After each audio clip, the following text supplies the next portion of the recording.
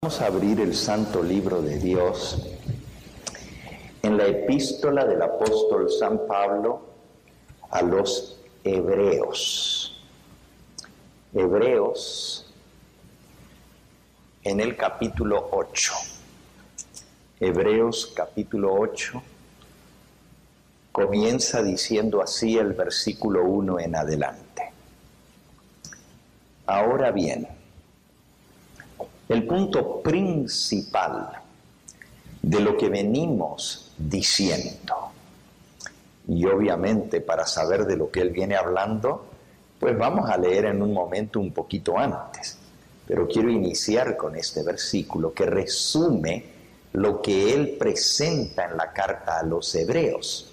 Dice, ahora bien, el punto principal de lo que venimos diciendo es que tenemos tal sumo sacerdote, el cual se sentó a la diestra del trono de la majestad en los cielos, ministro del santuario y de aquel verdadero tabernáculo que levantó el Señor y no el hombre.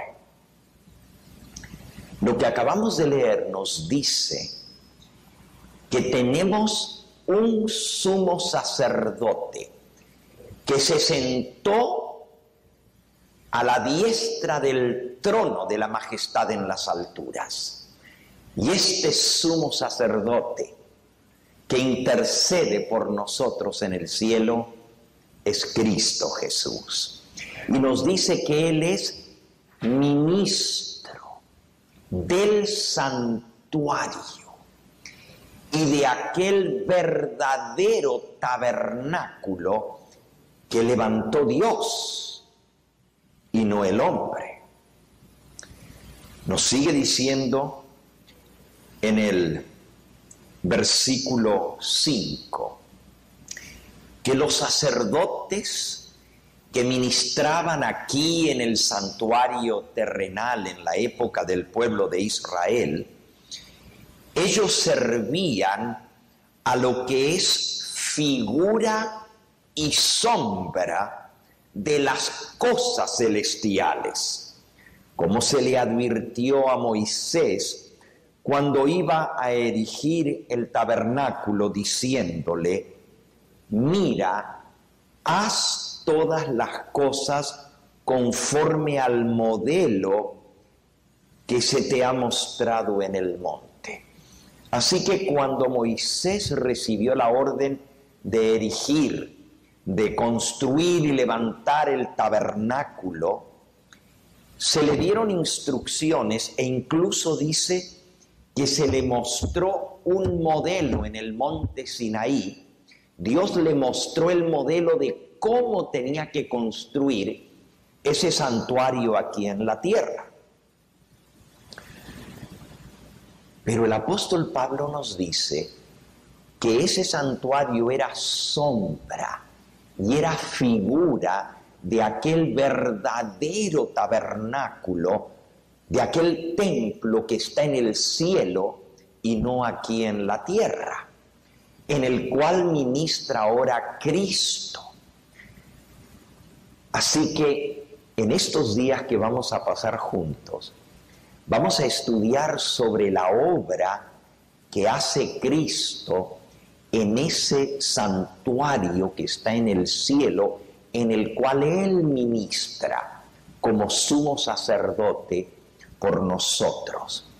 Y vamos a aprender también que la obra de Cristo es de intercesión ante el Padre. Pero sin la intercesión de Cristo no habría salvación.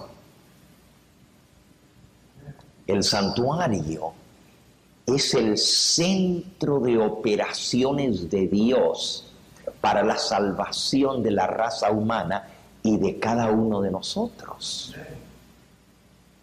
Por eso Cristo tuvo que ascender al cielo después de su sacrificio en esta tierra para interceder por nosotros ante el Padre y así recibir el perdón y la salvación. Así que sin la obra de Cristo en el santuario celestial, de nada serviría el sacrificio que Él hizo aquí en la tierra. Porque la obra de Cristo en el santuario celestial es ministrar, es ser sacerdote ante el Padre, interceder por nosotros, claro, en virtud de su sacrificio, por los méritos que Él logró por su muerte en la cruz, como vamos a leer en unos momentos los versículos anteriores de lo que venía hablando el apóstol Pablo. Pero a manera de introducción, quiero decir que así como es de esencial la muerte de Cristo en la cruz del Calvario para nuestra salvación, así de esencial es su obra ministradora o intercesora en el santuario celestial. Pero agrego algo más. Sin la obra de Cristo en el santuario, no valdría de nada su sacrificio que hizo en la tierra. usted dice, ¿por qué? Bueno, porque la salvación no es solamente la paga del pecado. Con su muerte Él pagó la deuda de nuestro pecado. Pero para que ese sacrificio sea efectivo para mí, yo tengo que aceptar ese sacrificio y Cristo tiene que presentar ante el Padre el nombre de cada pecador arrepentido y decirle, Padre, este pecador ha aceptado mi sacrificio. Recíbelo, perdónalo en virtud de esa sangre que yo derramé. Eso se llama la intercesión de Cristo. Y es recién cuando Cristo hace esa obra de intercesión que el sacrificio de Cristo se aplica a mi vida y yo puedo ser perdonado. Pero ahora viene un punto más. Así como la obra de Cristo en el santuario celestial es indispensable para hacer válido el sacrificio de Cristo aquí en la tierra, así la obra del Espíritu Santo es indispensable para que ese sacrificio que Cristo hizo pueda efectuar mi salvación. Es decir, Cristo intercede ante el Padre pero el Espíritu Santo trabaja en nosotros para llevarnos a Cristo, para que nosotros podamos ser salvos por el ministerio de Cristo en el santuario celestial. Estudiar la obra de Cristo en el santuario celestial combinada con la obra del Espíritu Santo en nuestra vida para efectuar nuestra salvación. No hay otro medio de salvación. Dios estableció el templo en el cielo como el centro de la obra expiatoria de Cristo. Y es allí donde se efectúa tu salvación y la mía. Pero necesitamos entender esa obra de Cristo para poderla aceptar plenamente y cooperar con la obra del Espíritu Santo en llevarnos a recibir esa salvación que Dios nos ofrece. Volvamos ahora al libro de Hebreos y vamos a ir al capítulo 7 de lo que Pablo venía hablando antes, porque nuestro texto inicial fue, ahora bien, el punto principal de lo que venimos diciendo es este. Y entonces Pablo nos dice que tenemos un sacerdote en el cielo. Pero vamos a leer los versículos antes. dice en el versículo 22 del capítulo 7, para tomar el hilo de lo que Pablo venía escribiendo y hablando. Dice, por tanto, bueno, vamos a leer el 21 también, el 21, el anterior, dice, porque los otros, ciertamente, los otros se refiere a los otros sacerdotes que hubo en el santuario terrenal. Los otros ciertamente, sin juramento, fueron hechos sacerdotes. Pero este, Cristo, con el juramento del que le, dijo, juró el Señor y no se arrepentirá. Tú eres sacerdote para siempre, según el orden de Melquisedec. Por tanto, versículo 22, Jesús es hecho fiador de un mejor pacto. Así que hay orden de sacerdotes. Hay un orden que se llama el orden de Leví o el sacerdocio levítico. Eso lo podemos leer un poquito antes en el mismo capítulo 7. Y nos dice en el versículo 12, porque cambiado el sacerdocio, necesario es que haya también cambio de ley. Y aquel de quien se dice esto es de otra tribu, de la cual nadie sirvió al altar, porque manifiesto es que nuestro Señor vino de la tribu de Judá, de la cual nada habló Moisés tocante al sacerdocio. Díganme, ¿de qué tribu eran los sacerdotes que servían en el santuario que levantó Moisés? ¿De qué tribu eran?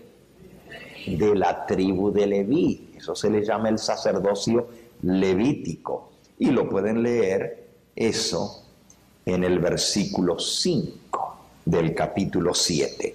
Ciertamente los que de entre los hijos de Leví reciben el sacerdocio. Así que el sacerdocio se recibe de los hijos de Leví, es decir, de los descendientes de Leví. De allí viene el sacerdocio levítico. Pero aquí dice que Cristo no era de la tribu de Leví, él era de la tribu de Judá. Y nunca hubo ningún sacerdote de la tribu de Judá. Así que hay un cambio de sacerdocio. Y si hay cambio de sacerdocio, también hay cambio de ley de sacerdocio. Eso ya lo vamos a entender. Sigue diciendo. Y esto, ahora estamos en el versículo 13, y aquel de quien se dice esto, es de otra tribu de la cual nadie sirvió al altar. Porque manifiesto es que nuestro Señor vino de la tribu de Judá, de la cual nada habló Moisés tocante al sacerdocio.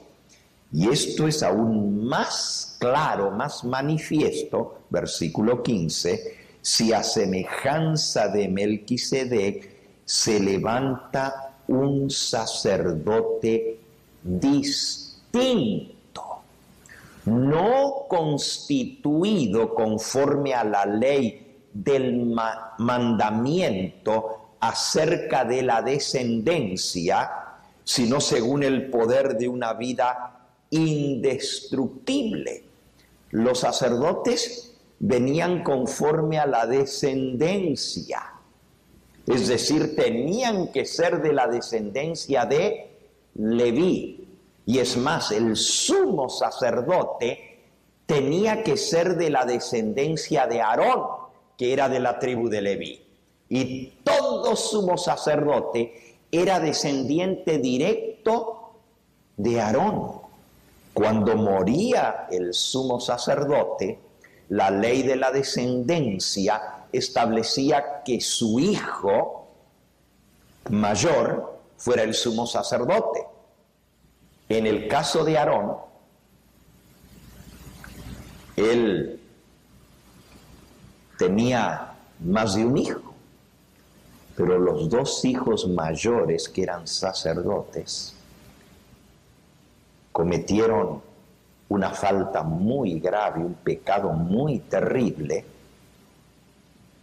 y cayeron muertos dentro del santuario.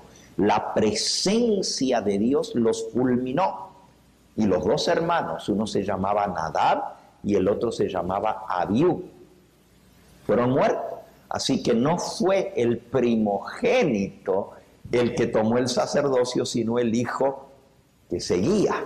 Y así la descendencia establecía a hombres que eran puestos no por un juramento, juramentados.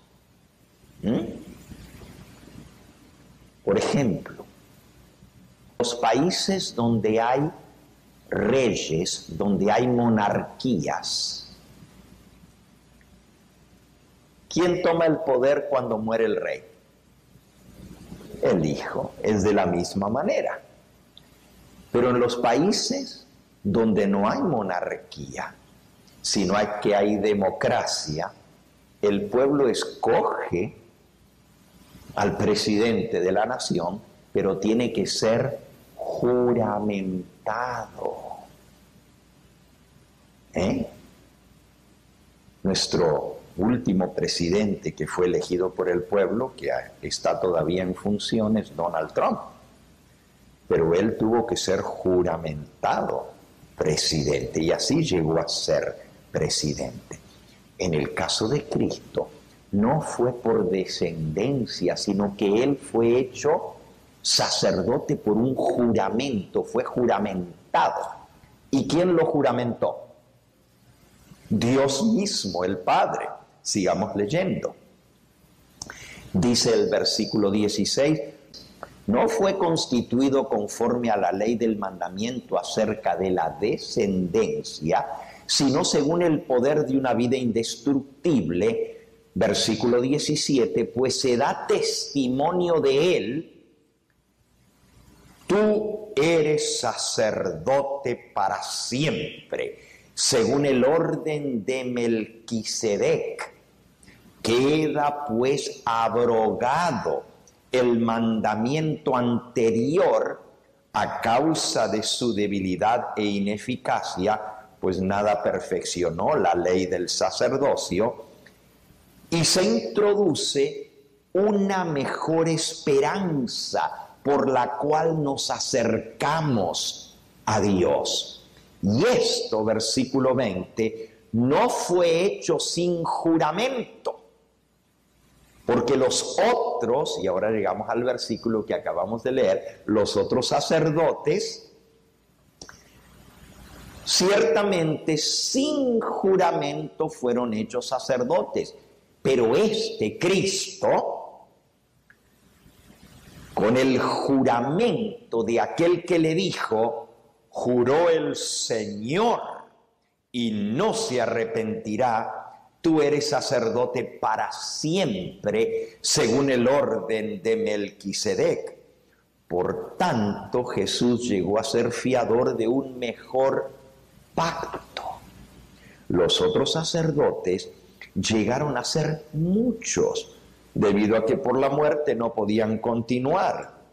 Mas este, Cristo, por cuanto permanece para siempre, porque Él no muere, es eterno, tiene un sacerdocio inmutable, por lo cual puede también salvar. Ahora, usted puede pensar hasta este momento que todo lo que estamos hablando son cosas técnicas del sacerdocio. Pero ahora es donde llega el punto. Esto tiene que ver con nuestra salvación. Tiene que ver con nuestra oportunidad de vida eterna.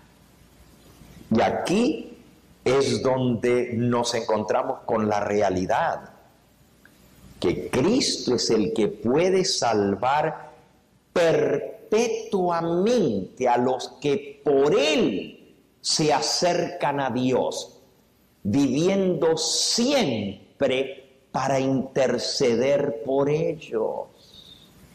Así que Cristo vive para siempre, pero es el que intercede por nosotros. Y a través de Él podemos acercarnos a Dios y Él tiene el poder de salvar a los que mediante su intercesión se acercan a Dios. Ahora ven la importancia de la obra de Cristo para nuestra salvación. Versículo 26.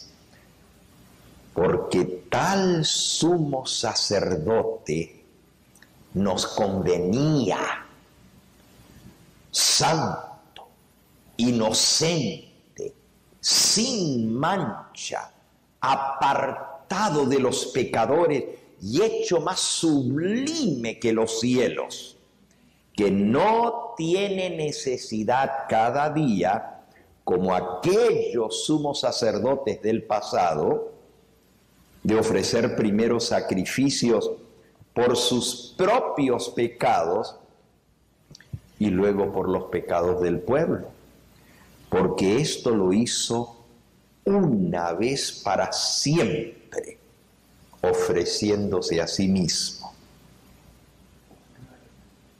Los sacerdotes del santuario terrenal tenían primero que ofrecer sacrificios por sus propios pecados, porque eran pecadores ellos, y no podían interceder por el pecador ante Dios sin primero ser limpiados ellos del pecado. Es interesante porque esto trae muchas implicaciones Hoy en día, el mundo cristiano en general confía en un sistema de sacerdocio. Y espero que los que me escuchan y ustedes entiendan a lo que me refiero. El mundo cristiano confía en un sistema de sacerdocio que van ante un sacerdote a confesarle sus pecados para que ese sacerdote interceda por ellos ante Dios y sean perdonados. Pero el problema es que esos sacerdotes humanos son tan pecadores como los que vienen a ellos a confesarle sus pecados. Esto es lo que acabamos de leer. Entonces el sacerdocio humano, acabamos de leer que era ineficaz y quedó abrogado ese mandamiento del sacerdocio humano para establecer un mejor sacerdocio.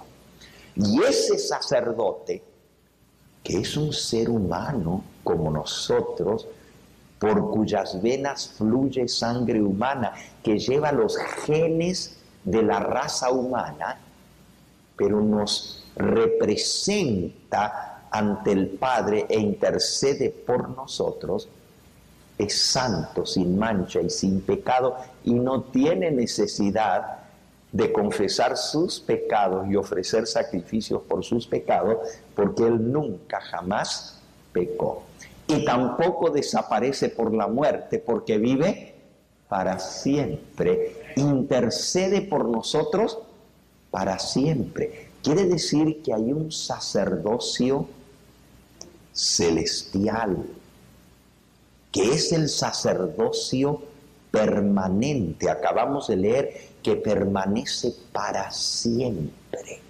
y nosotros podemos acercarnos a Dios a través de ese sacerdote. Ustedes no van a encontrar en todo el Nuevo Testamento que Cristo haya puesto sacerdotes en su iglesia. Cuando Él ascendió a los cielos, como leímos, Él se sentó a la diestra de la majestad en las alturas y fue hecho sumo sacerdote para interceder por nosotros, no en un santuario hecho de manos, figura del verdadero, sino en el santuario que levantó Dios y no el hombre en el cielo. Él es el que intercede por nosotros. Pero cuando Él ascendió al cielo, Él estableció, dejó su iglesia en esta tierra para proclamar el perdón de los pecados a través de un sistema de salvación. Y vamos a leer, qué interesante, en el libro de San Lucas, el Evangelio según San Lucas, en el capítulo 24, Lucas capítulo 24, nos dice en el versículo 45 en adelante, eso es Jesús hablándoles a sus discípulos después de su resurrección, cuando se les aparece, donde estaban reunidos. Dice, les abrió entonces el entendimiento para que comprendiesen las escrituras y les dijo, así está escrito. Y así fue necesario que el Cristo padeciese y resucitase de los muertos al tercer día y que se predicase en su nombre el arrepentimiento y el perdón de pecados en todas las naciones, comenzando desde Jerusalén. Y vosotros sois testigos de estas cosas. He aquí yo enviaré la promesa de mi Padre sobre vosotros. Pero quedaos vosotros en la ciudad de Jerusalén hasta que seáis investidos del poder desde lo alto. Así que a sus discípulos les dijo, ustedes van a predicar el perdón de los pecados en mi nombre y van a recibir el poder del Espíritu Santo para hacer esa predicación y ser testigos para salvación y perdón de pecados. Y cuando Él asciende a lo alto, vamos ahora al libro de Efesios, Efesios en el capítulo 4, dice en el versículo 5 en adelante, un Señor, una fe, un bautismo, un Dios y Padre de todos, el cual es sobre todos y por todos y en todos. Pero a cada uno de nosotros nos fue dada la gracia. La gracia es el don inmerecido del perdón, conforme a la medida del don de Cristo. Don es un regalo. Por lo cual dice, subiendo a lo alto, llevó cautivo la cautividad y dio dones a los hombres. Y esto de que subió, ¿qué es? Sino que también había descendido primero a las partes más bajas de la tierra, y el que descendió es el mismo que también subió por encima de todos los cielos para llenarlo todo. Y él mismo constituyó, el mismo Señor que bajó a esta tierra y luego ascendió al cielo, a lo más alto, y se sentó a la diestra de la majestad en las alturas, en el trono del cielo, y lo llenó todo con su presencia. Él mismo, versículo 11, constituyó a unos apóstoles, a otros profetas, a otros evangelistas, a otros pastores y maestros, a fin de perfeccionar a los santos para la obra del ministerio, para la edificación del cuerpo de Cristo. El cuerpo de Cristo es su iglesia, pero para edificar la iglesia, Él constituyó apóstoles, profetas, evangelistas, pastores y maestros. Él no constituyó sacerdotes aquí en la tierra en su iglesia.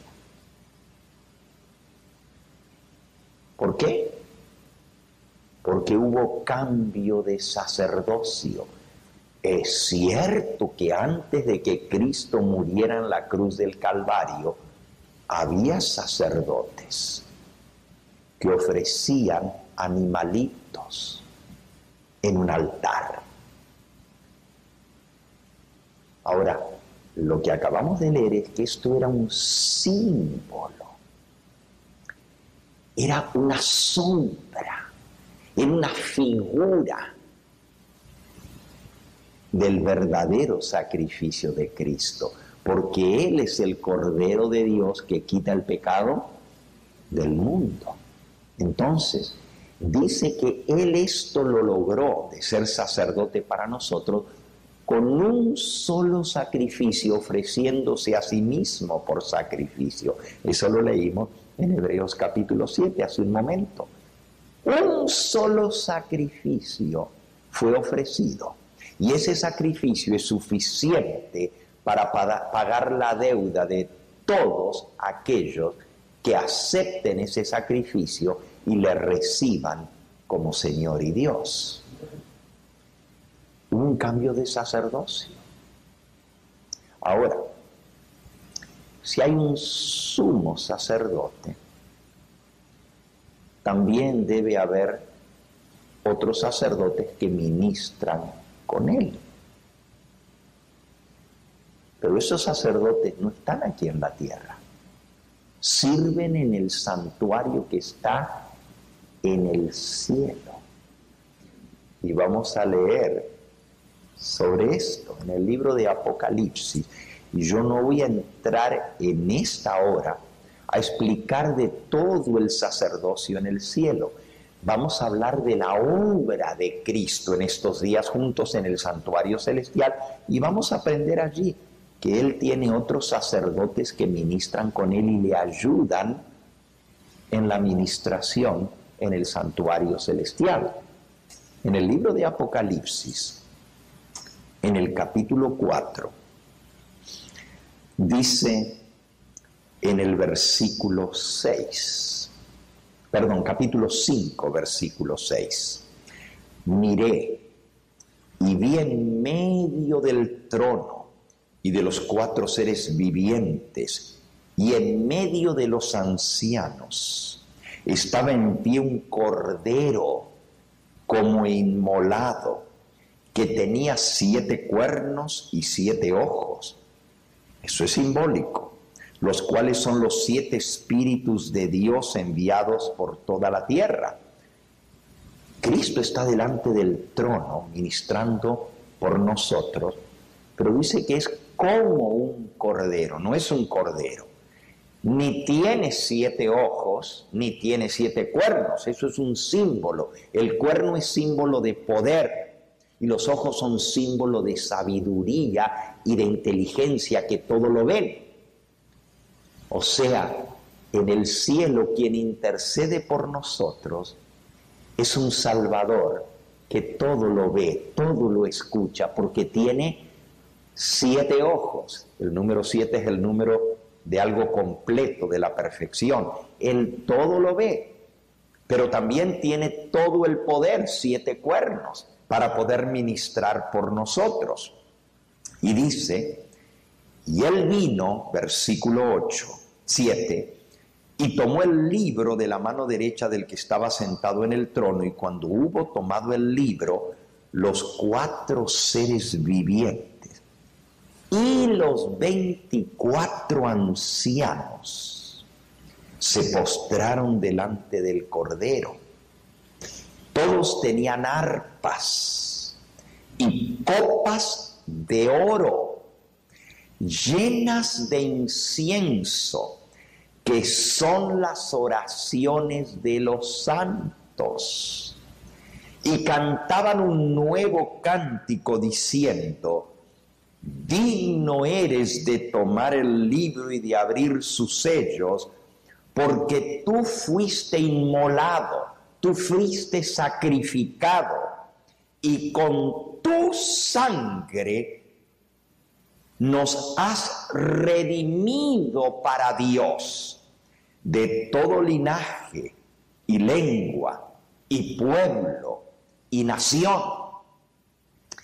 Y nos has hecho para nuestro Dios reyes y sacerdotes y reinaremos sobre la tierra. Así que en el cielo hay seres que fueron hechos, fueron redimidos con la sangre de Cristo y fueron hechos reyes y sacerdotes y ministran con Cristo en el santuario celestial. Nuevamente Apocalipsis capítulo 1. Dice el versículo 5 y de Jesucristo el testigo fiel, el primogénito de los muertos, el soberano de los reyes de la tierra, al que nos amó y nos lavó de nuestros pecados con su sangre y nos hizo reyes y sacerdotes para Dios su Padre. A Él sea la gloria y el imperio por los siglos de los siglos. Amén. Así que hay seres que han sido redimidos con la sangre de Cristo, pero que fueron hechos reyes y sacerdotes con Cristo en el cielo. Quiere decir que hay un sacerdocio celestial. Pero así como Cristo, después que resucitó, aunque es hombre, usted dice, aún en el cielo es hombre. Todavía como mediador en el cielo sigue siendo ser humano. Vean primera de Timoteo, capítulo 2. Primera de Timoteo, capítulo 2.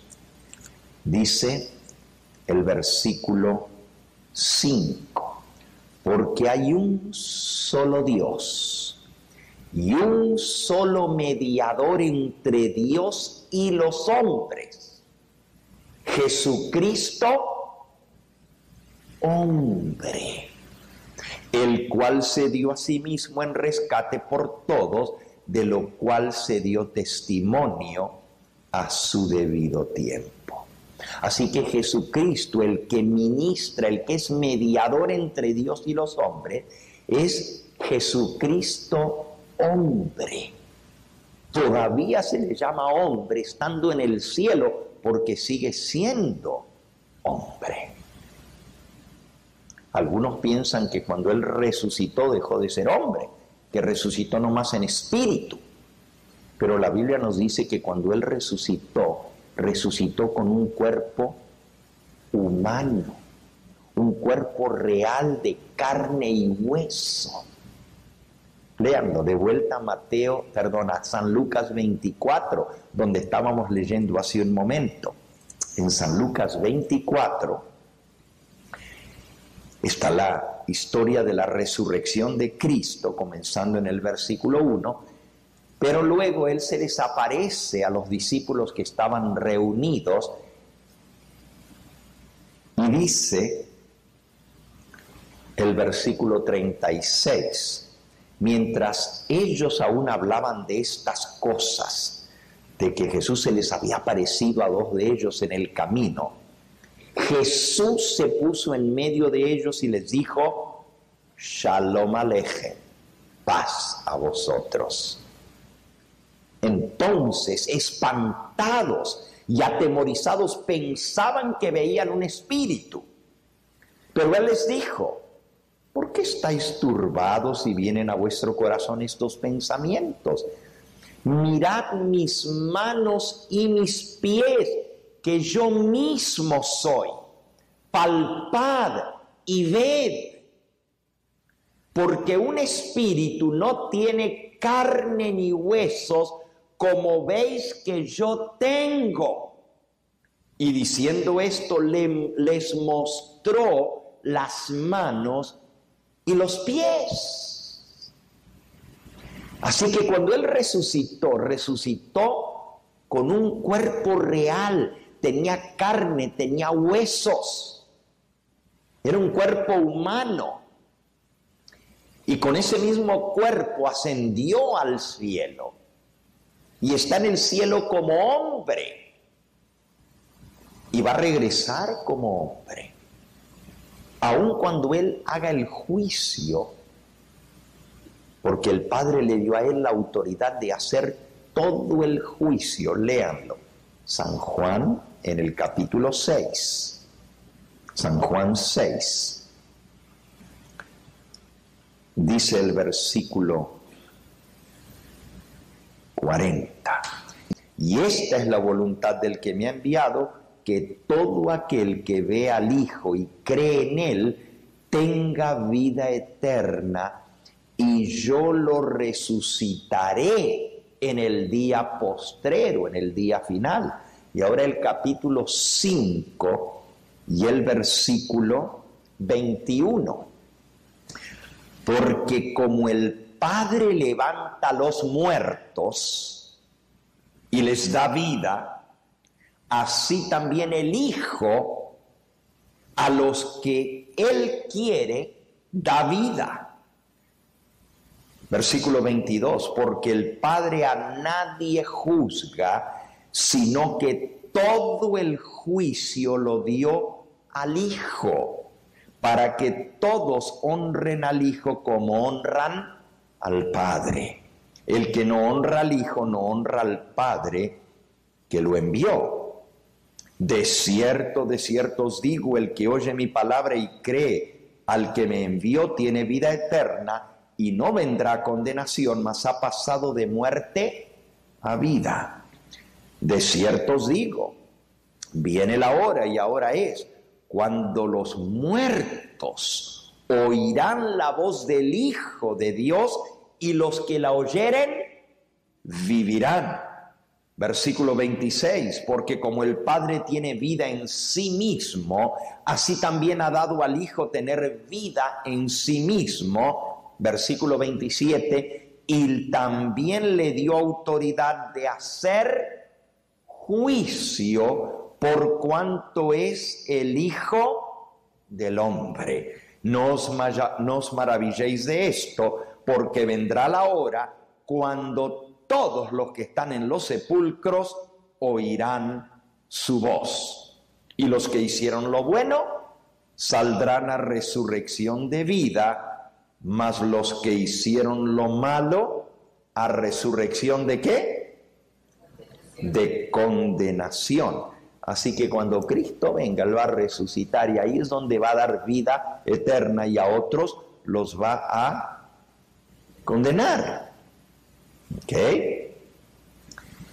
Ahora vayamos al libro de Hechos de los Apóstoles. Hechos en el capítulo 17. Dice el versículo 31.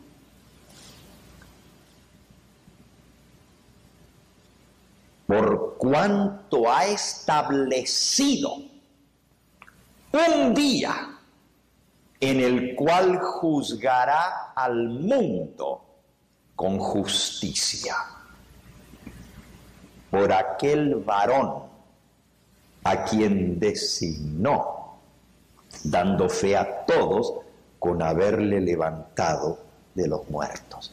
El que Dios levantó de los muertos, su Hijo, le dio la autoridad de hacer el juicio. Ya ha establecido un día del juicio final en el cual va a juzgar a todos con justicia, pero dice por aquel varón a quien él designó. Así que todavía en el juicio, cuando él venga a hacer el juicio, todavía sigue siendo un hombre, un varón. Está en el cielo intercediendo como hombre y cuando venga va a venir como hombre. Ahora, ¿por qué es esto importante? Ya vamos a aprender al entender la obra de Cristo en el santuario celestial. ¿Por qué? Él es hombre por cuyas venas fluye sangre humana. Él trae los genes de la raza humana. Él es uno con nosotros. Solo les leo un versículo para que entendamos la importancia de que Él es hombre como nosotros. Uno. Vamos nuevamente al libro de Hebreos en el capítulo 4. Hebreos capítulo 4. Dice en el versículo 14, por lo cual,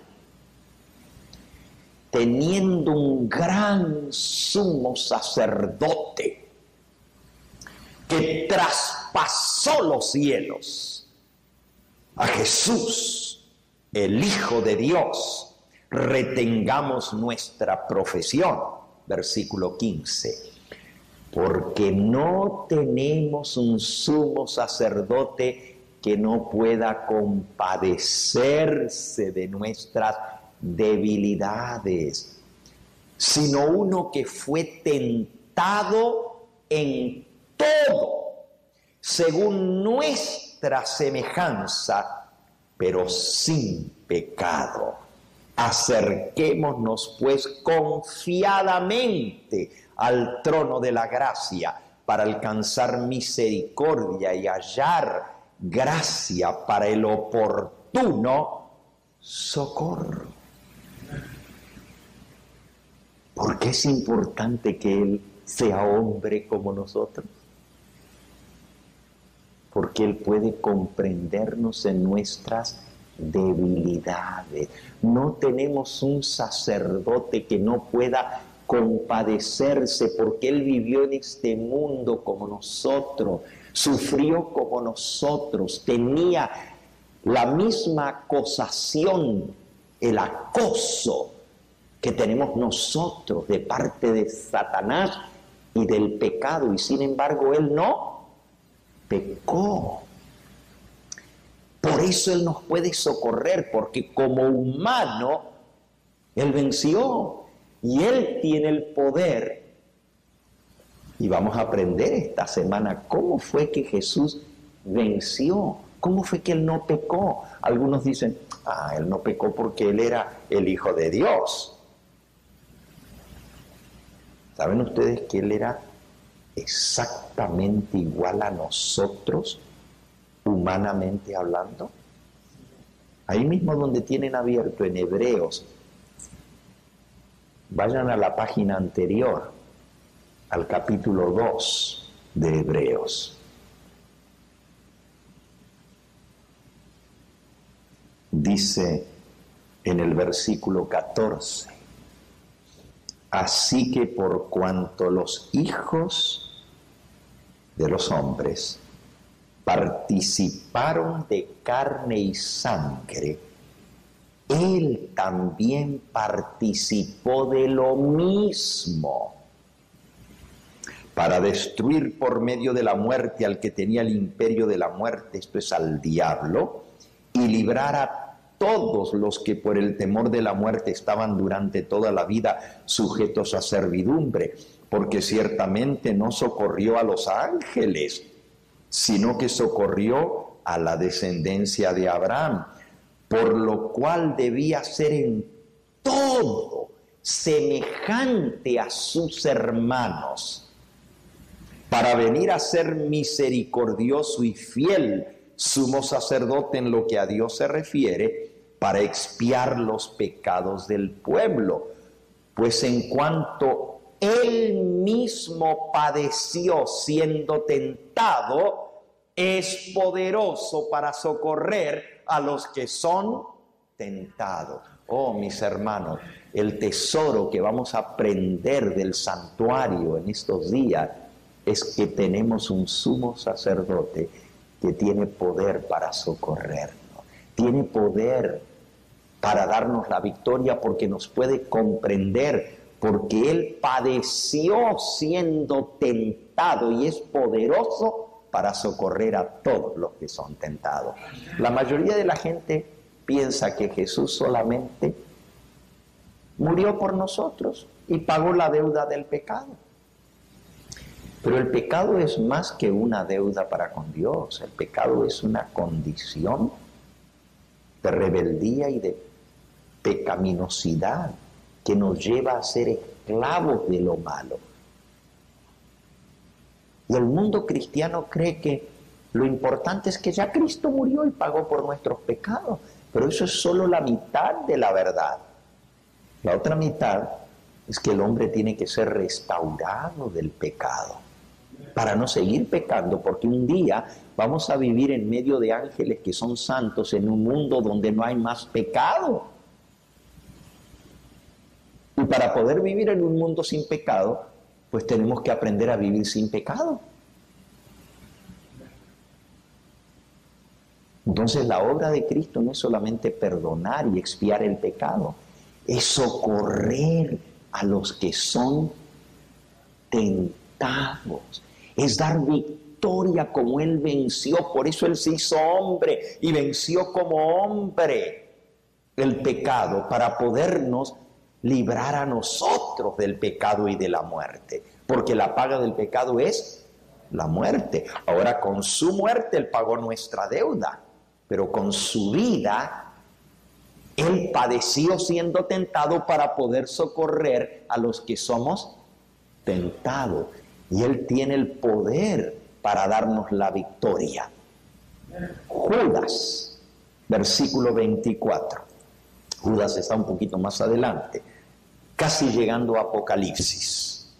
Dice el versículo 24, y aquel que es poderoso para guardaros sin caída y presentaros sin mancha delante de su gloria con gran alegría al único y sabio Dios nuestro Salvador.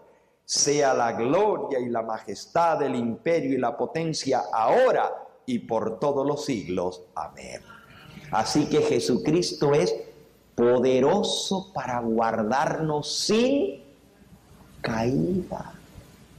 Pero hay gente que dice, no se puede vivir sin pecado. Mientras estemos en este mundo vamos a ser pecadores y siempre vamos a seguir pecando. Pero la Biblia nos enseña que tenemos un sumo sacerdote en el cielo que puede darnos la victoria sobre el pecado. Y esto es lo que vamos a aprender en estos días juntos. Pero Él no lo hace solo. Él lo hace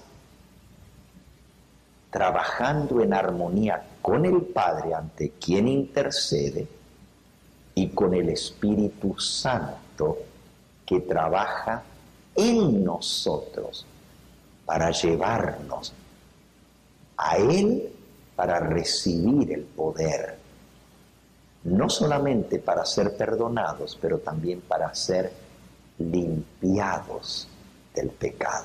Entonces les decía que hay un sacerdocio en el cielo, pero resulta que así como Cristo es sumo sacerdote, según el orden de Melquisedec, es un sacerdocio superior al orden de Leví.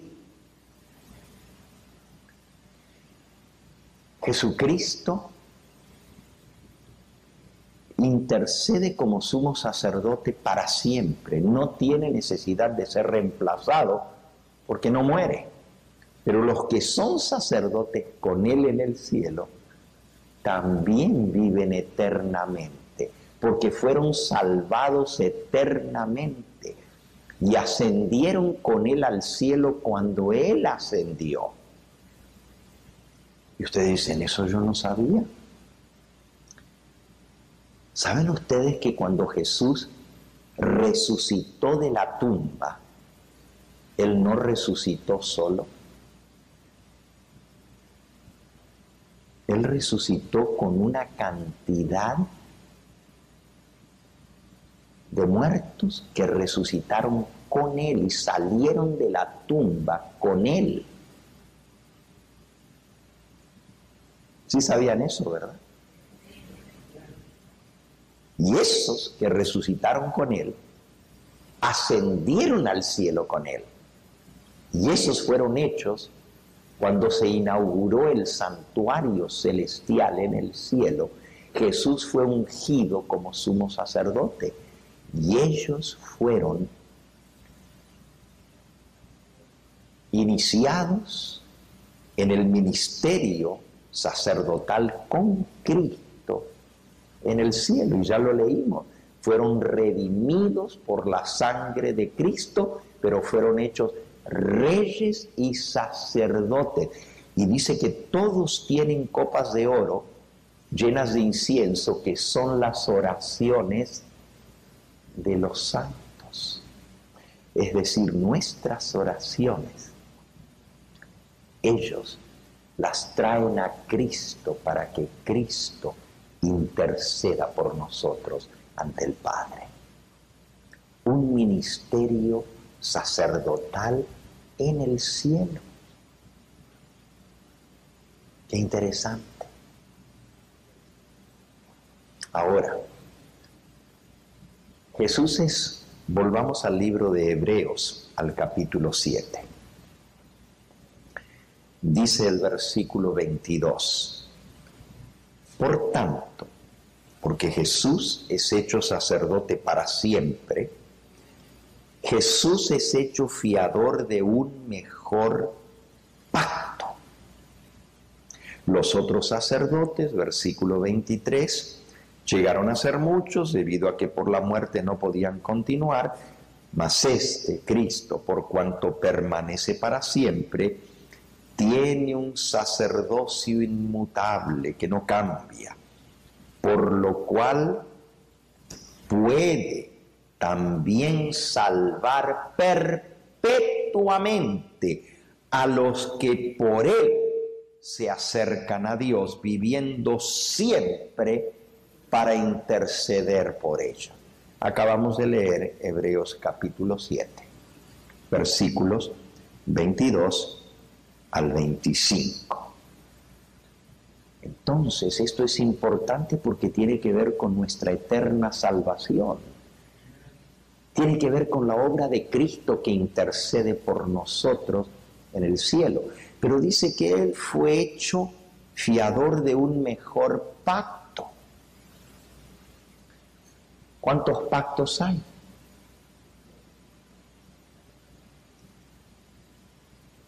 ¿Cuántos pactos hay? Vayan al capítulo 9 y al versículo 1. Ahora bien, aún el primer pacto tenía ordenanzas de culto y un santuario terrenal. O en el primer pacto de salvación que Dios hizo, había un santuario terrenal. Ahora lean el capítulo 8 y el versículo 6. Ya leímos del 1 al 5, donde decía que Él ministra en el santuario que está en el cielo. El 6 dice, pero ahora tanto mejor ministerio es el suyo, el de Cristo, por cuanto es mediador de un mejor pacto, establecido sobre mejores promesas. Porque si aquel primero, el primer pacto, hubiera sido sin defecto, ciertamente no se hubiera procurado lugar para el segundo.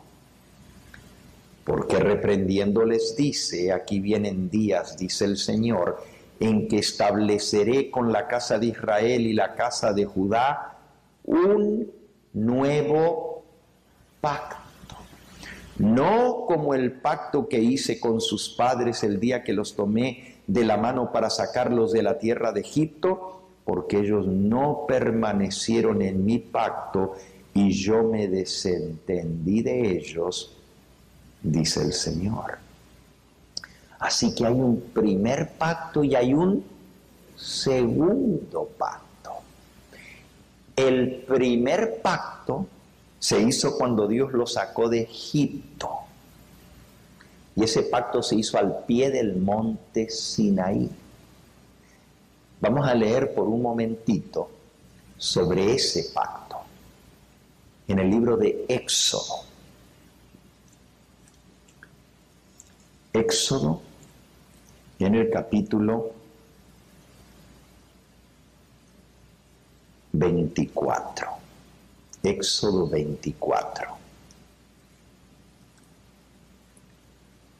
Dice en el versículo 7. Y tomó Moisés el libro del pacto y lo leyó a oídos del pueblo el cual dijo, haremos todas las cosas que Jehová ha dicho y obedeceremos. Un pacto es un contrato entre dos partes. En una parte del pacto está Dios y en la otra parte está su pueblo. El pueblo hizo una promesa. Haremos todas las cosas que Jehová ha dicho y obedeceremos. Entonces Moisés tomó la sangre. ¿Cuál sangre? Ah, dice en el versículo 5, envió a jóvenes de los hijos de Israel, los cuales ofrecieron holocaustos, sacrificios y becerros como sacrificios de paz a Jehová y Moisés tomó la mitad de la sangre y la puso en tazones y esparció la otra mitad de la sangre sobre el altar. Así que mataron los animales sobre el altar, la mitad de la sangre la derramó sobre el altar y la otra mitad la recogió en tazones. ¿Y ahora qué hizo con esa otra sangre que recogió? Versículo 8. Entonces Moisés tomó la sangre y roció sobre el pueblo y dijo, He aquí la sangre del pacto que Jehová ha hecho con vosotros sobre todas estas cosas. Así que el primer pacto se hizo con sangre de animales. Y con la sangre de animales se ratifica el pacto pero también con la sangre de animales se obtiene el perdón de los pecados. Pero ya nosotros leímos que eso era un símbolo hasta que viniera Cristo.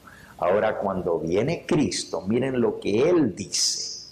Mateo 26, versículo 27 tomando la copa y habiendo dado gracias les dio diciendo, bebed de ella todos, porque esto es mi sangre del nuevo pacto, que por muchos es derramada para remisión de los pecados. El nuevo pacto es en la sangre de Cristo, es mi sangre del nuevo pacto que por muchos es derramada para remisión, para perdón de pecado. En el antiguo pacto el perdón era a través de la sangre de animales. En el nuevo pacto el perdón es a través de la sangre de Cristo mismo que se ofreció como sacrificio por nosotros.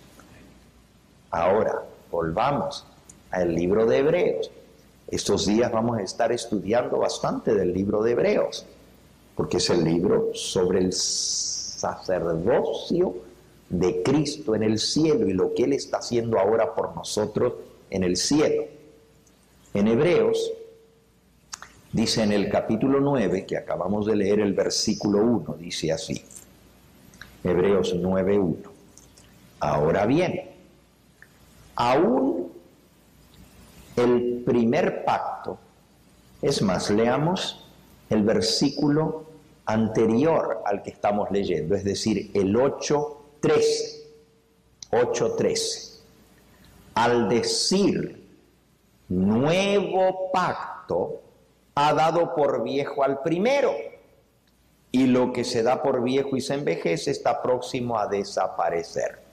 Así que cuando habla de un nuevo pacto, quiere decir que el viejo pacto ya envejeció, pasó y desapareció. Y ahora se da lugar a un nuevo pacto. Esto es bien importante que lo entendamos. Porque hay millones de personas hoy en día, millones. Y estamos hablando de mil millones de personas alrededor del mundo que confían en un sacerdocio que tiene un sumo sacerdote humano que se sienta en un trono, en un templo hecho de manos situado en la ciudad de Roma. Y se le llama sumo pontífice, pontífice quiere decir sacerdote, sumo pontífice romano, pero él no está solo, él tiene una cantidad de sacerdotes que él mismo ordena para el sacerdocio, que ministran en ese sistema de sacrificios que se llama el sacrificio de la misa. Y se ofrece por todas partes de la tierra el sacrificio de Cristo. Y millones de personas alrededor del mundo creen a pie juntilla que para salvarse tienen que ir ante un sacerdote, confesar sus pecados y comulgar y tomar del sacrificio de la misa para recibir el perdón de los pecados. Y sin eso no hay salvación. Tienen que participar de los sacramentos para ser salvos. El sacramento de la Eucaristía, el sacramento del bautismo, el sacramento de la confirmación, el sacramento de la penitencia, el sacramento de la extrema unción, y que todos esos sacramentos les hacen posible la salvación y todos son administrados, esos sacramentos, por un sacerdocio humano. Si eso es cierto, entonces, pues no hay salvación fuera de la iglesia que administra esos sacramentos. Y eso es lo que enseña esa gran iglesia. Y millones de personas creen que eso es así, que fuera de esa iglesia no hay salvación, porque son los únicos que tienen sacerdotes que ofrecen los sacramentos, mediante los cuales se obtiene la salvación. Pero lo que nosotros venimos leyendo es que en primer lugar Cristo no estableció sacerdotes cuando Él estableció su iglesia, Él constituyó apóstoles, constituyó profetas, constituyó evangelistas, pastores y maestros, pero Él no estableció sacerdotes. Porque el sacerdocio lo ejerce él mismo como hombre ante el Padre en el cielo.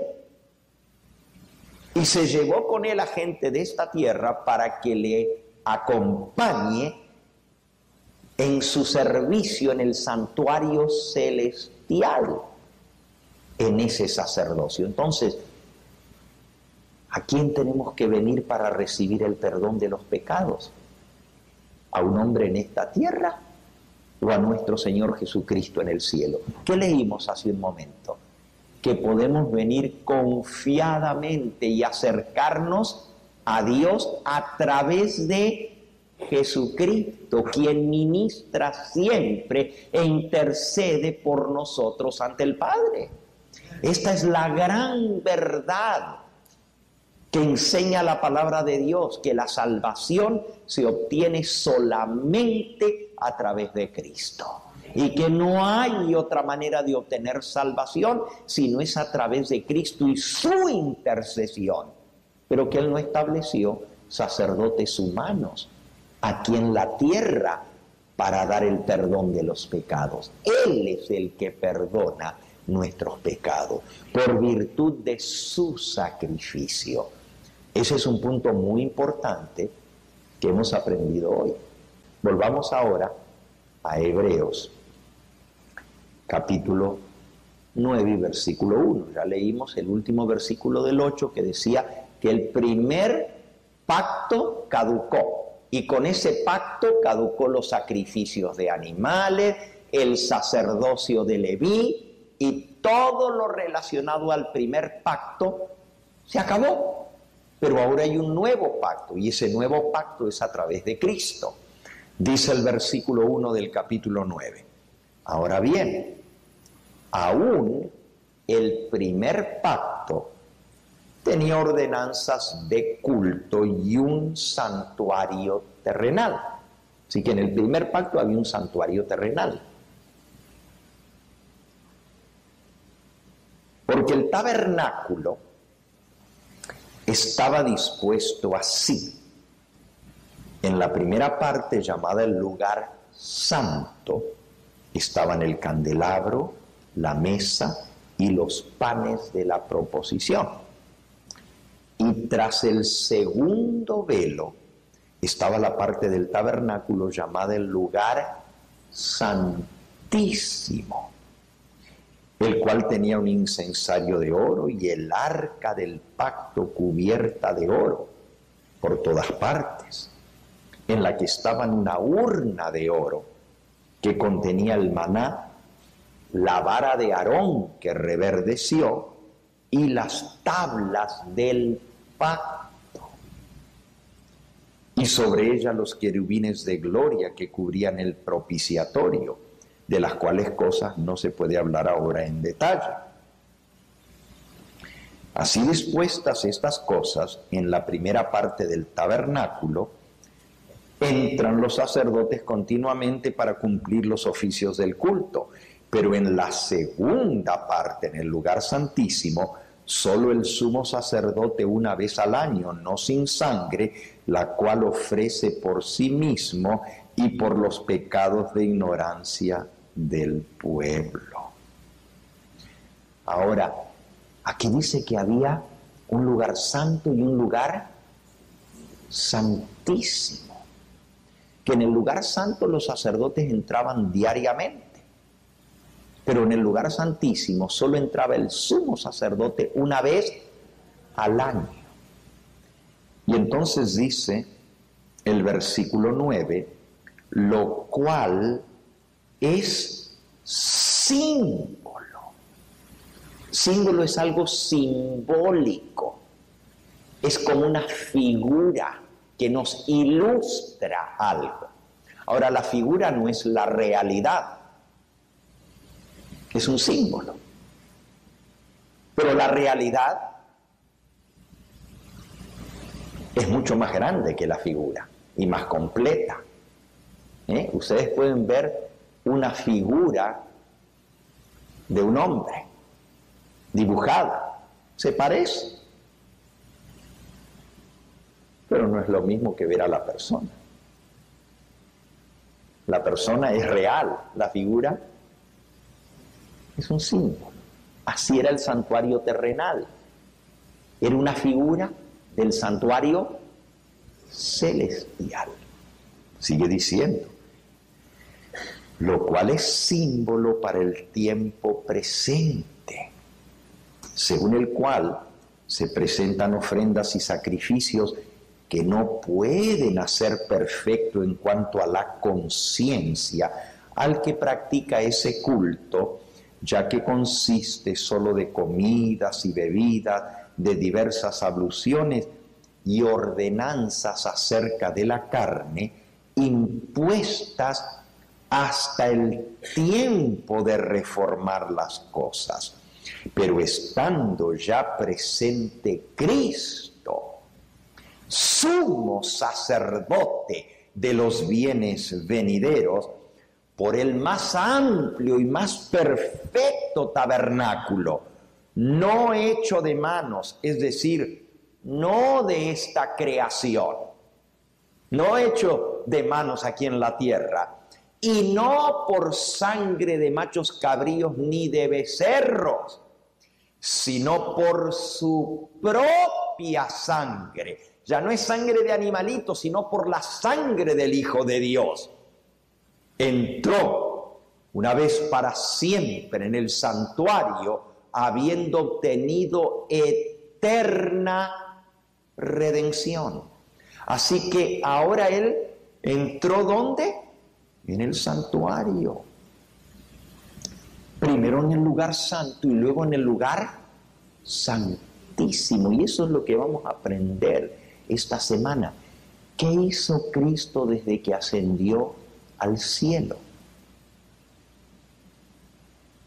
¿Y cuando entró él al lugar santísimo? Como hacía el sacerdote aquí en la tierra una vez al año, pero era un símbolo para la realidad que es el ministerio de Cristo. Es decir, el los sacerdotes terrenales representaban el ministerio de Cristo. El sumo sacerdote representaba al sumo sacerdote celestial. No era él, era un símbolo. Y así como el sumo sacerdote entraba en el lugar santísimo detrás del velo, también Cristo iba a entrar en el lugar santísimo detrás del velo, así como lo hacía el sacerdote. Y vamos a aprender cuándo era que entraba y qué iba a hacer en el lugar santísimo. Pongamos por un momento una imagen, una figura en la pantalla del santuario. Y vamos a ver cómo estaba constituido el santuario, el lugar santo y el lugar santísimo, como acabamos de leer. Vean, allí pueden ver ustedes lo que se conoce como el tabernáculo del desierto o el santuario o tabernáculo terrenal. Si ustedes ven, todas las carpas las tiendas donde habitaba el pueblo de Israel por sus familias, están en torno al tabernáculo y allá al fondo se ve el monte Sinaí, donde Dios descendió a proclamar su ley como base del pacto. Pero entonces, en el centro de todo el campamento de Israel, en el centro mismo, estaba el tabernáculo. Y el tabernáculo está todo rodeado por una cortina blanca ese patio alrededor del edificio propiamente dicho se llama el atrio, el atrio exterior. Nosotros le diríamos el patio de afuera, en lenguaje actual, ¿verdad? El patio de afuera del edificio, pero también era santo. Y luego Ustedes ven que en el patio de afuera, que se llama el atrio, está lo primero, lo que está en fuego, que está quemando, es el altar de sacrificio. Y luego está una fuente con agua, ese se llama el lavacro. Son los dos ah, mobiliarios que hay en el atrio.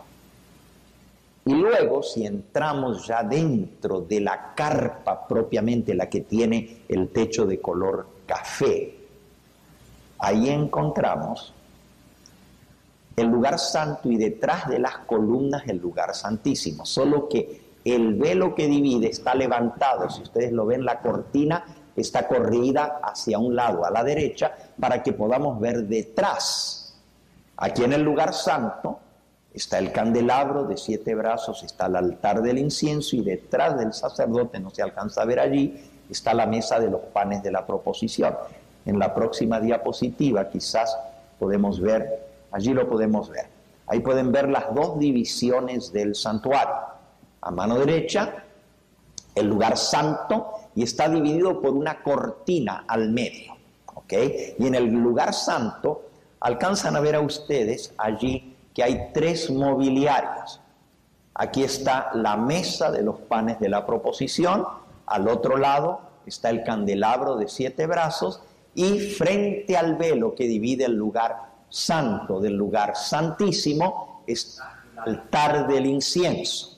Detrás del velo está el lugar santísimo y un solo mueble allí que se llama el arca del pacto, que ya leímos en Hebreos 9, que tenía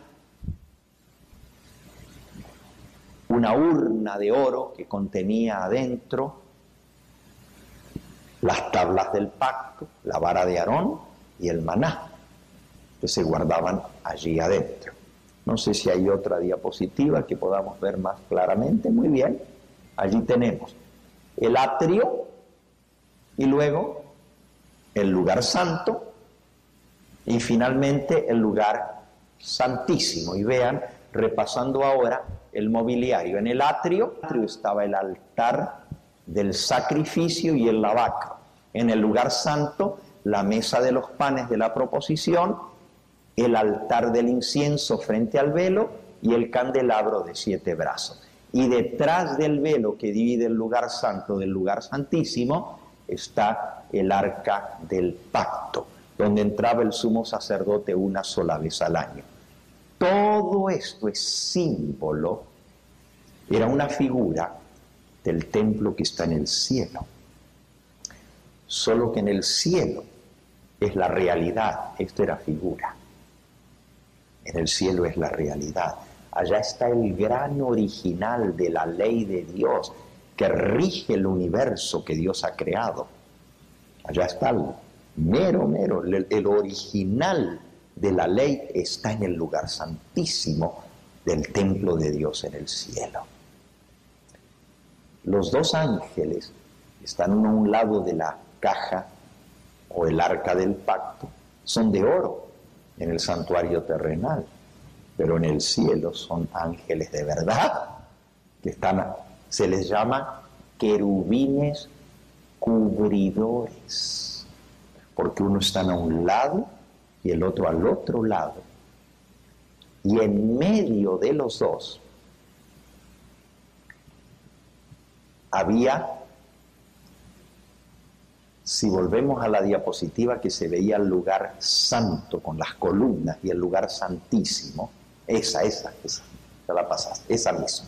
Si ustedes ven, allí pueden ver los dos ángeles, pero en medio de los dos había una luz inmensa en el santuario terrenal, una luz que nadie podía ver porque si la veía caía fulminado y eso fue lo que les pasó a los hijos de Aarón, Nadab y Abiú, se metieron detrás del velo y la luz lo fulminó y cayeron muertos. Esa luz se llamaba en hebreo la Shekinah. Y la Shekinah era una luz, pero no era luz eléctrica, ni era luz de vela, ni era luz de fuego, era la luz de la misma presencia de Dios. Si vamos hacia atrás, una diapositiva, hacia atrás, ahí está, ustedes pueden ver el altar pero en la anterior a esa, una más para atrás, pueden ver esta columna de humo o de nube que está arriba del santuario sobre el lugar santísimo. Esta era la columna que guiaba al pueblo de Israel por todo el camino. Y dentro de esa columna de nube estaba la presencia de Dios. Cuando Dios quería que se levantara el campamento, la nube se elevaba hacia arriba y el pueblo sabía que esa era la señal para recoger sus carpas, levantar el tabernáculo y seguir camino en el desierto hacia Canaán. Pero cuando Dios quería que se asentara el campamento y se quedaran allí, la nube se detenía. El pueblo entonces levantaba el campamento, se levantaba el tabernáculo, que era el centro de culto, y la nube se paraba arriba del tabernáculo sobre el lugar santísimo, y luego la nube bajaba y cubría el tabernáculo y la presencia de Dios que iba dentro de la nube, todo eso lo pueden ver en el libro de Éxodo, salía de en medio de la nube y se metía dentro del tabernáculo en el lugar santísimo, en medio de los dos querubines de oro. Y eso se llamaba la Shekinah, la luz de la presencia. Cuando Dios quería que se moviera el tabernáculo, entonces la nube cubría el tabernáculo y la presencia de Dios, esa luz, entraba dentro de la nube, siempre cubierta, y entonces los iba guiando. Esa luz era la misma presencia de Dios. Ahora, en el cielo, también la presencia de Dios es una luz. Sin embargo, Dios es un ser real. Y déjenme leerles algo interesante. Esto no, no, pensaba compartirlo hoy, pero nomás les voy a leer un pedacito aquí, en este libro que se llama Primeros Escritos. Los escritos, lo vamos a estudiar un poquito más esta semana cuando hablemos de la obra de Cristo y del Espíritu Santo en el lugar santísimo. Hay un capítulo aquí que se titula El fin de los 2300 días. En este capítulo, no lo voy a leer ahora, ya lo vamos a estudiar, porque vamos a estudiar cuándo fue que Cristo entró del lugar santo al lugar santísimo, como lo hacía el sacerdote. Y eso fue al final de los 2300 días de la profecía de Daniel 8:14. Esta es una visión que Dios le mostró a Elena de White. Dice, vi un trono y sobre él se sentaban el Padre y el Hijo. Recuerden que ya lo leímos en Hebreos 8.1. El primer versículo que leímos esta noche, donde decía que Cristo se sentó a la diestra de la majestad en los cielos, del, trono de la majestad en los cielos. Así que Cristo se sentó a la diestra del Padre. Eso es lo que el Señor le mostró a Elena de White. Dice, vi un trono y sobre él se sentaban el Padre y el Hijo. Me fijé en el rostro de Jesús y admiré su hermosa persona. No pude contemplar la persona del Padre, pues lo cubría una nube de gloriosa luz. Ni aún Elena de White en visión pudo ver la persona del Padre, porque estaba todo cubierto de una gloriosa luz. Le pregunté a Jesús si su Padre tenía forma como Él, o si era solo luz. Él me dijo que sí la tenía, pero que yo no podía contemplar su forma física, porque dijo, si llegases a contemplar la gloria de su persona, dejarías de existir. Interesante, es, un detalle solamente. Ahora entendemos por qué cuando Nadab y Abiú se metieron detrás del velo, cayeron fulminados, dejaron de existir. Los fulminó la luz. Y usted dice, pero ¿y cómo el sumo sacerdote entraba una vez al año detrás del velo? Era toda una preparación que había que hacer. Y antes de que él entrara, porque él tenía que entrar, con sangre en un tazón y esparcirla en medio de los dos querubines, el día de la expiación de Yom Kippur. Pero para poder él entrar, había toda una preparación que había que hacer. Si él se atrevía a entrar y había algún pecado que no había sido limpiado de su vida y perdonado y saldada la cuenta, caía fulminado. ¿Saben qué era tan grave esto? Que los sumos sacerdotes, cuando entraban el día de Yom Kippur, el día de expiación, detrás del velo, les ataban un cordel a la pierna. Porque si llegaban a entrar y había pecado en ellos, caían muertos. ¿Y quién se atrevía a meterse atrás para sacar el cadáver? Entonces lo jalaban con la cuerda y lo sacaban hacia afuera. Vean qué interesante todo eso.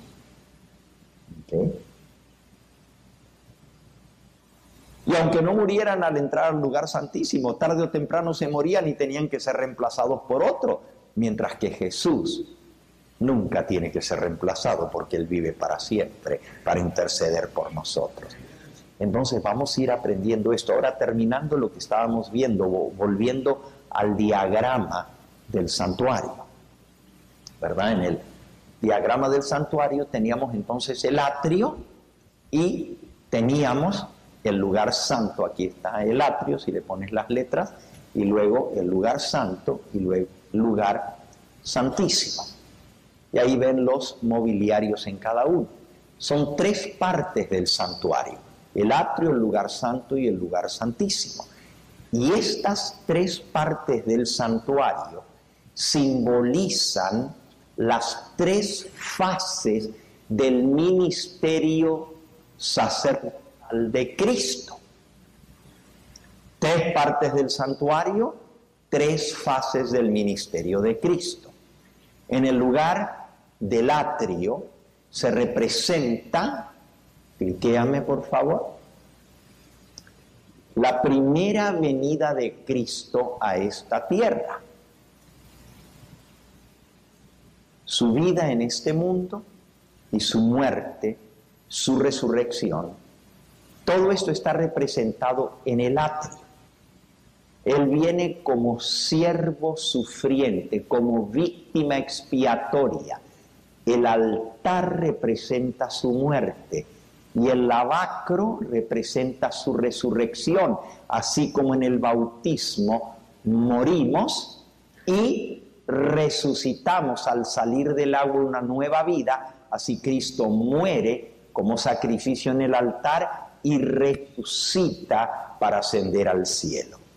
Y allí cuando sube al cielo entra al lugar santo y representa la segunda fase de su ministerio como intercesor en el santuario celestial, desde su ascensión al cielo hasta el año 1844. Y finalmente, el lugar santísimo representa tercera fase del ministerio de Cristo desde el año 1844 hasta su segunda venida. Por aquí vamos a dejar en esta noche.